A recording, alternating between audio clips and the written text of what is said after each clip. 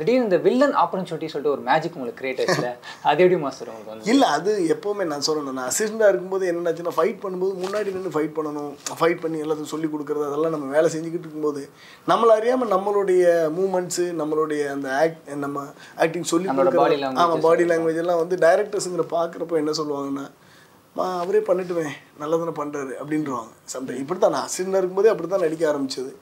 இப்போ மாஸ்டர் ஆனதுக்கப்புறம் மறுபடியும் சொல்லி கொடுக்கும்போது மாஸ்டர் ஆனதுக்கப்புறமும் அதே அசிஸ்டன்ட் வேலையை தான் செஞ்சுக்கிட்டு இருக்கோம் இன்னும் அதே தான் கொரியோகிராஃப் பண்ணுறது சொல்லிக் கொடுக்குறது உருள்றது பிறல்றது கீழே விடுறது. இதெல்லாம் சொல்லிக்கிட்டு இப்போ நிறைய டாக்டர் இருப்பான் மாஸ்டர் நீங்களே பண்ணிடுங்களேன் நம்மளுக்கு டைம் சேவ் ஆகும்ல மாஸ்டர் மெயின் விஷயம் அதுதான். ஆனால் உங்களுக்குள்ளே அந்த வில்லன் ஆகணுன்ற ஆசை அந்த மாதிரி ஏதாவது இருந்திருக்கும் மாஸ்டர்